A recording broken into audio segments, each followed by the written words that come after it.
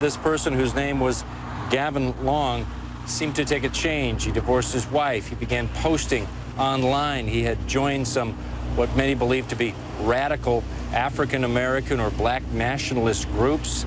Uh, he officially changed his name last year from Gavin Long to Cosmos Setepenra, and then under two different websites began posting uh, very, you might say, in, uh, inciting kind of comments talking about the need to stop protesting and take action.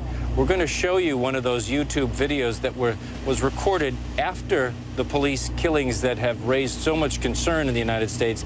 And this is what this person under the name Cosmo was posting on his YouTubes. No words. He can't understand words, I promise you. He doesn't understand protests. If y'all want to keep protesting, do that. But for the serious ones, the real ones, the alpha ones, we know what it's going to take. It's only fighting back or money. That's all they care about. Revenue and blood. Revenue and blood.